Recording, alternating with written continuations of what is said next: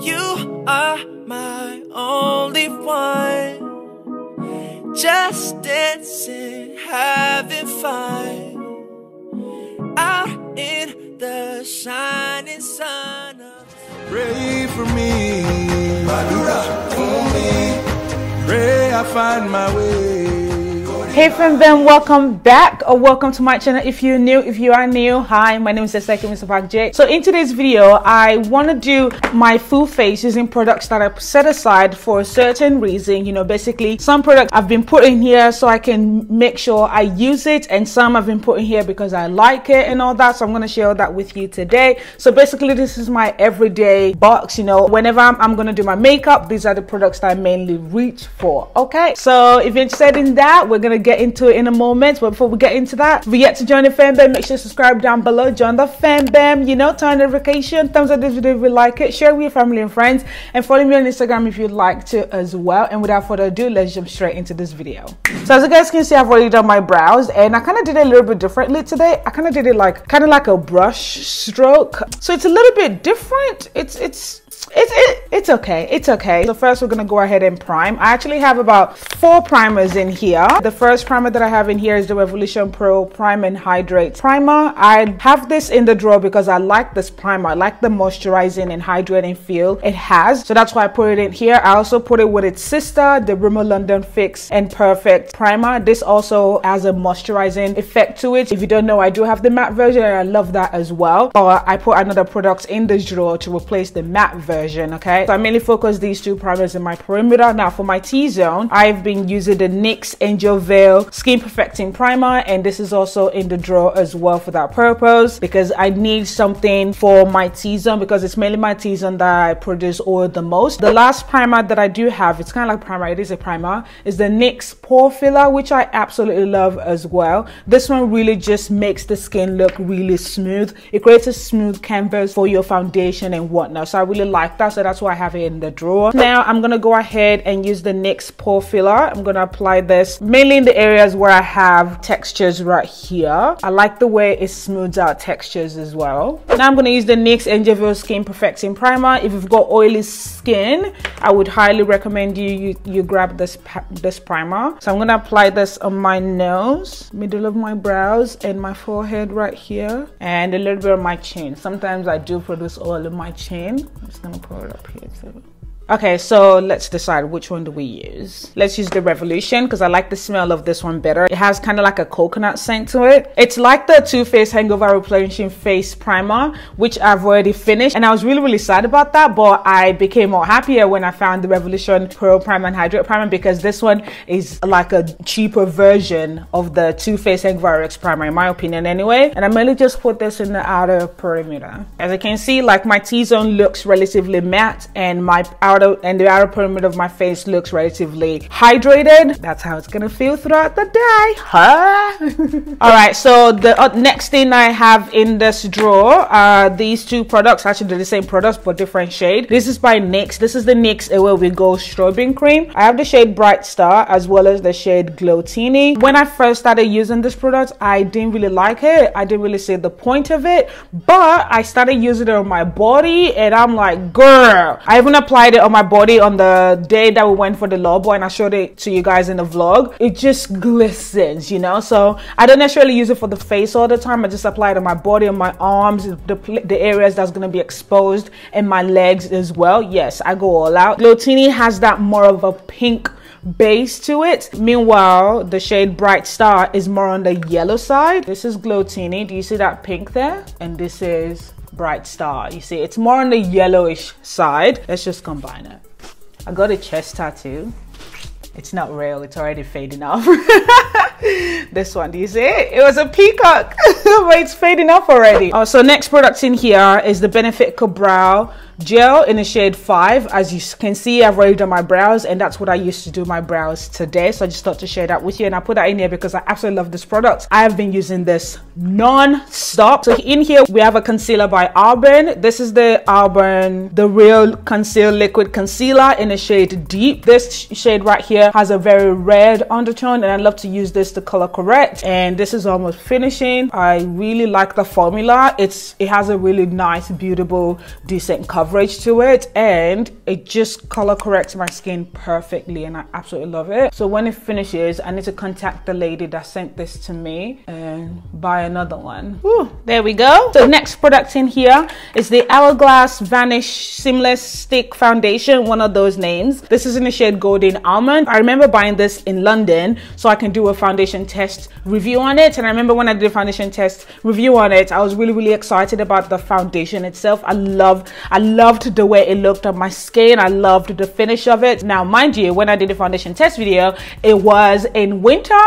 So, um, when I wore this when I go back to Australia in summer, I was like, oh, ooh, this, this, this is not a good product for summer whatsoever, especially on my oily, sweaty skin. Okay, so um, I decided to put it in here because I need to finish it, and literally, this is the only amount left in there. Like if I keep twisting it, there's nothing coming out, and that's because I've used this so many times as a color corrector, and I've also used it as a concealer so many times because the shade Golden Almond is a little bit lighter than my skin tone and I've also kind of scraped a little bit off it and mixed it with other foundations in here to kind of you know try a different combination and I put it in this cushion container right here. This is the MUA Luxe Glow Beam Liquid Highlight Cushion. If you remember this I loved the highlights in here but was already kind of finishing so I kind of mixed the foundation in together with the remaining highlight that's in this container. And so most of the time I'll just grab this and I'll just apply this on my face and there's still I think there's still a little bit of foundation left in there yeah. So I just use this to kind of just cover my skin a little bit. I'm just so glad it's finishing. I wouldn't recommend it for oily skin especially during summer. And if you're like me and you sweat on your face I would not recommend this because this will break apart on your face literally. It doesn't stay together. But let me just try and use this to further conceal some spots the remaining spots on my face. But I really do like the coverage. It's a nice medium to full coverage and it feels really, really comfortable on the skin. It's just that longevity and the wear on my oily combination sweaty face. You know what I mean? Next products that's in this drawer is the Huda Beauty Faux Filter High Coverage Foundation. This is in the shade Cinnamon 440G. I've already done a foundation test on this and I did a detailed three minute video comparing this foundation to the Fenty Beauty foundation. This one is more sweat resistant than the Fenty Beauty foundation so i absolutely love this but the downside of this is the fact that this is not my shade. So i've been mixing it with any other foundation that i can find. So with that being said the other foundation that's in this drawer is the l'oreal infallible total cover full coverage weightless feel foundation. And this is in the shade 312 cocoa. So this one is a little bit is it red or orange? Red slash orange on me. The l'oreal foundation is not my absolute favorite foundation because it doesn't necessarily stand the test of time.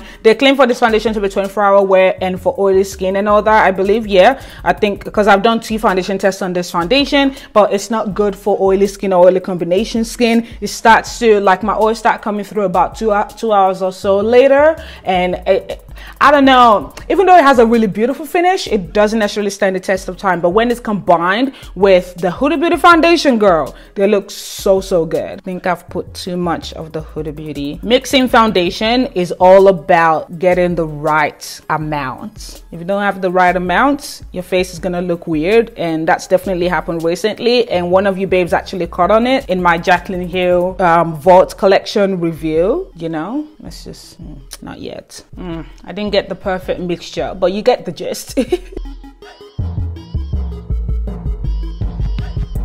All right, so here we go. Foundations have been, has been applied and we have a nice even coverage. I also brought it down to my neck a little bit because I kind of went a little bit off with the mixture. So I had to make do, okay? But we can see we have a nice max full coverage on the face. Next product in this drawer is the NYX HD Concealer in the shade Nutmeg. And I put this in the drawer because I'm not a massive fan of this concealer. So I just put this here because I need to finish it. There's only a little bit left in the bottle, which is great. And I don't really like the spatula, the doe foot applicator. It's a little bit too short for me.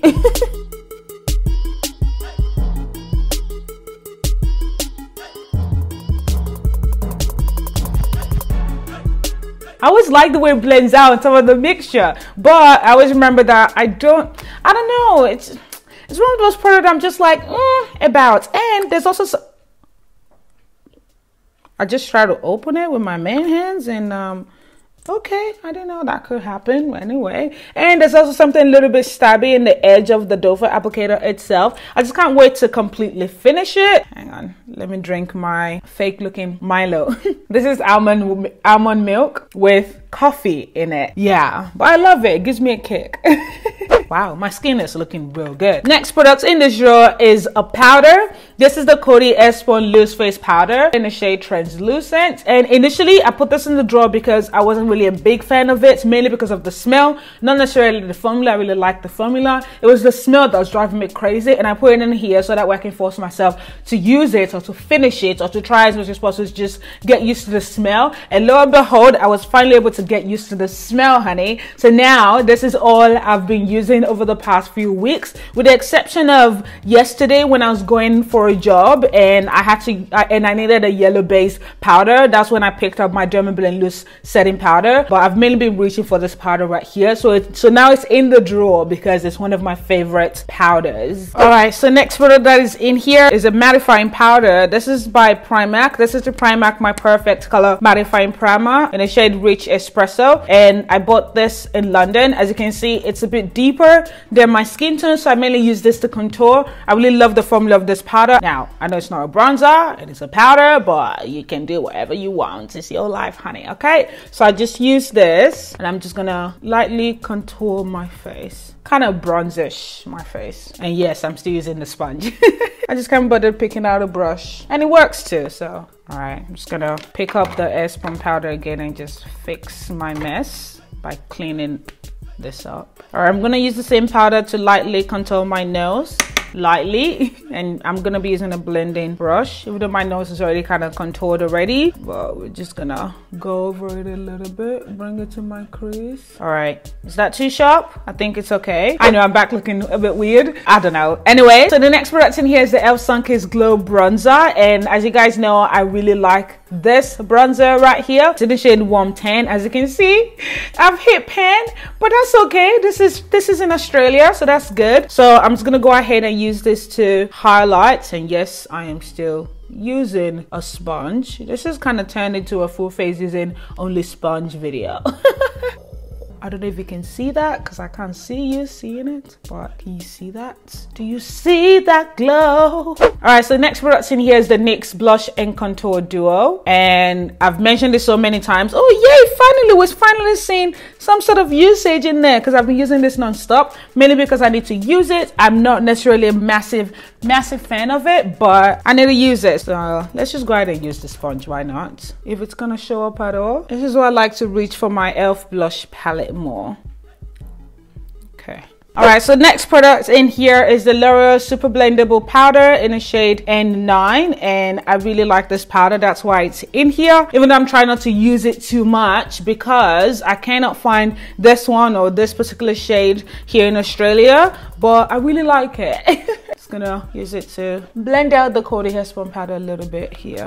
Now, let's go into the eyes. So I've already kind of lightly set my eyelid with a powder, just lightly. By lightly, I mean like with a dust of it because the NYX concealer that I put on my lid was kind of creasing a little bit. So I needed to set it a tiny, tiny little bit. So now let's go into eyeshadow. I actually recently just placed this in the drawer. This is an eyeshadow palette by Revolution. This was done in, in collaboration with Tammi, Makeup by Tammi or Tammi Clark here on YouTube YouTube and this is the Tropical Paradise palette and this palette is beautiful but I'm still not sure of it mainly because of the pigment. But I don't mind it because number one it's affordable and number two there's so many rich colors in here. So I'm just gonna go ahead and use this and one of you guys did um, request that I film another video using this palette. So I decided to put it in here so that way I can remember to use it. So that's why it's in this drawer. So I'm just gonna go straight into the shade Purpy Purps which is a purple shade in the palette, a purple matte shade, this one right here. And I'm gonna be using this brush that I shared with you guys recently, the, this big concealer brush by Avoni. So I'm gonna stamp this on my lid, try not to go past my crease. Yes. Ooh, girl, this color is on fire.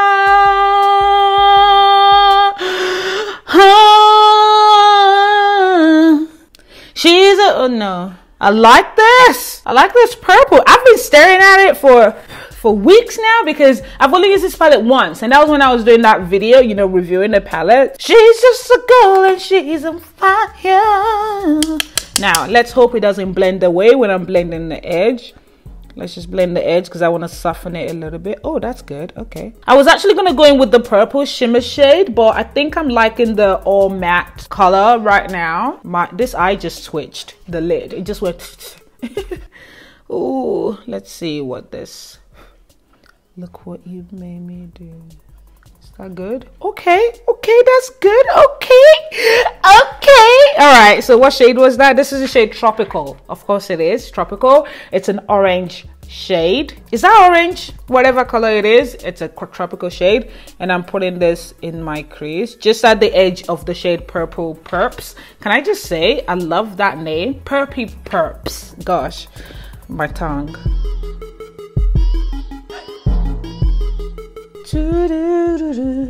So let's grab the purple shade that I talked about. Let's put this in the inner corner instead. Okay, I want a different color in there. You know what I would have liked? A pumpkin orange shimmer shade. Ooh, that would go really well with this look, especially because there's that orangish color in the crease right there. We always want what we do not have. Let's try this yellow. Okay, that is beautiful. Yeah, beautiful. This is the shade. Oh, Lord Jesus. It's a gold shimmer shade. Oh, it's called Golden Sands. This one right here. So this is what I'm applying in my inner corner. Yeah, beautiful. It's true. On top of that purple shimmer. And I didn't spray it. That's nice. That's nice. It's just that when I'm applying on my lid, I remember feeling it feeling a little bit sandy, crumbly. I don't know. The, they're very pigmented. It's just the consistency that kind of threw me off a little bit. All right, so let's grab this other shimmer shade. It's called Exotic. This is like a bronze shimmer shade. I don't know. It's kind of like mint tone beigeish color. This one right here. And I'm going to put this in my, what is this called? Brow bone. Yes, yes, yes, yes, yes okay the most simple eyeshadow look ever. I love creating looks like this. It just looks so simple. Okay so oh i should do my lower lash line. I always almost forget my lower lash line. I'm definitely going to be using that matte purple shade for my lower lash line like hello? I'm gonna stamp it first and then blend it out because i don't want it to fall on my face. Let's see what this orange would do. Okay i'm putting the orange there too. Okay. I'm only putting it halfway. Okay. Okay. All right so here we go. Eyes are done. Yes almost because we need to kind of should i draw a wing? I don't know. But anyway let me just share this with you so i have two eyeliners in this drawer one because i love it and the other one because I love the formula, but I hate the applicator itself. The one that i absolutely love applicator and everything is this one by primark. This is the primark or ps liquid liner in the shade ultra black. This was purchased for one pound at primark which is really good. And i really like this you know i really like the tip and everything and the formula you know. It has a good longevity to it. It doesn't necessarily dry matte instantly but if you wait for a while it will. And the second eyeliner is the revolution pro supreme eyeliner. This is also black as well. I like the formula of this, but I don't necessarily like the tip. The tip here, the applicator, whatever, is rubbery in texture and everything, and so it doesn't really feel comfortable on the lid. So I'm so what I mainly do most of the time is use another eyeliner that's already dried out. I just use the tip of that in combination with the formula of this eyeliner. But I don't think this look needs a wing so I think what I'm gonna do is is apply the eyeliner just on the lash line right here. So that way it can kind of act like a band or whatever for my lash. And I'm using the Primark eyeliner. And before that completely dries I'm just gonna smudge it a little bit just a little bit. So it doesn't look like like a straight line. Now I'm gonna apply the same eyeliner in my waterline. Hmm. you know what I'm noticing? This eyeshadow oxidizes changes color. Do you see that? Like I just topped it up so it can still maintain that vibe vibrancy. You see? All right, so the next product is this Maybelline Great Lash Mascara in the shade Blackest Noir. And this is just in here because I need a mascara to mascara my lashes before I apply falsies so that way I can actually see my itty bitty lashes so that way I can know exactly where I'm applying falsies. So that's why it's in here. I do like this mascara. I don't have lashes. Oh. You see this? I feel like this eyeshadow has dulled down. Oh, another product I didn't share with y'all that's in this drawer is the Colourpop Brow Pencil in a shade black and brown. And this is in here because I absolutely love this. So I like reaching for this whenever I'm going to work. Let me just kind of use it to extend my tail a little bit here. By the way, if you're wondering, I didn't have to fill in my brows when I finished my makeup today because after I, I did my brows, I went in with my hairspray. I, I sprayed it on the spoolie and just brushed the brows up with it so that way it can stay in place and I don't have to like fix it. You know what I mean? So yeah she says while she's fixing her brow but you know what i mean like most of the time i have to like almost kind of draw it again but now i'm just filling in the areas that i missed okay so there we go mm -hmm. Mm-hmm. i'm gonna go ahead and apply lashes and i'll be right back. All right guys i am back and we've finished all the products that's in this box and i need to i'm gonna arrange that back later. So that is it. That's all of it. I don't have lipstick stuff in there because all my lipsticks are right in front of me. So for lips i am gonna go ahead and use the nyx lip lingerie liquid lipstick in a shade beauty mark. And i'm gonna go in with under nyx lip lingerie but this one is a gloss. This is in a shade spirit. And i'm going to apply this on top. Now i'm gonna go in i know. And i'm gonna use a glitter. This is also by nyx. It's the nyx lingerie lip gloss glitter in a shade butter. All right so there we have it. We've used all the products that was in my box with the exception of the lipsticks. Another product I did realize that I didn't mention, uh, I've already turned off the camera before I realized that that, that, that was actually going to use it, is a Duo eyelash adhesive glue. And I put that in this box because I don't always reach for it and don't judge don't judge, don't knock it till you try it, okay? And that's because I mainly use my air bonding glue to apply my lashes. I just really like the fact that I don't have to wait for too long for it to get tacky and it's really easy for me to remove it and it doesn't rip off my lashes. It's not like I had lashes to begin with anyway, you know what I mean? But yeah, so I mainly reach for the um, bond glue. That's why I don't really reach for the Duo glue. So I put that in there so that I can reach for it and yeah it, it, works well. I like it. It's just i have to wait a long time for it to get tacky anybody got time for that okay? I just i like all the products all together it's just some of the products i don't like on its own but by the time i combine it together it just it works out. You know what i mean? It works out. So have you tried any of the products that i used in today's video? I know you've seen me use these products in my videos but i just kind of thought to do a dedicated video about the products that i placed in my everyday drawers and the reasons behind them okay. So yeah thank you so much for watching babes. I hope you enjoyed this video. If you did please let me know by commenting down below and also thumbs up this video okay? Today's FamBam shout out is gwendolyn hodge. Thank you so much for your support girl and for commenting on my recent video. I really appreciate you okay? And i appreciate every single one of you babes. And let me know if you're gonna try this look out. I really like the way it turns out it turned out. I just really wish that the color would stay the uh, as vibrant as it was when i initially applied it. But as you can see like it kind of dulls down a little bit especially that orange different shade but all all all is well and ends well. I don't know if i said that right. But anyway as i said earlier thank you so much for watching once again. And as always whatever doing to love yourself. And i see you in my very next video. Bye. So basically i've been i've been i can't speak. Um it's so fucking hot. Please ugh, ugh. the l sun kissed sun kissed seriously esther seriously. So dusty. Esther why are you so messy Nonsense. Every time. Oh, what's this? Hello? So yeah, thank you so much for. Look at my whale tattoo. Oh, you can't see. How can I show you this? That's a whale. I don't know if that's the sound they made, but that's how I feel like all, most of the time. Right, now I'm gonna film how I film my YouTube video video as you've been requesting. So stay tuned for that. I'm right here.